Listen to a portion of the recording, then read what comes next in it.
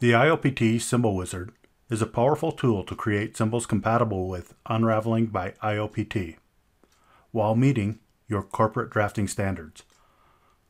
Find your device in the more than 15,000 part library. IOPT already knows the number of pins and the pin names defined by the manufacturer. By default, the wizard creates symbols split into FPGA banks and ready for fine-tuning the symbol with prefix and pin number position.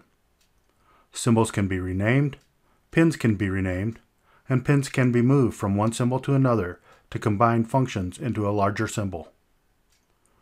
The symbol width can be set to uniform, so all FPGA symbols are uniform when placed on the schematic.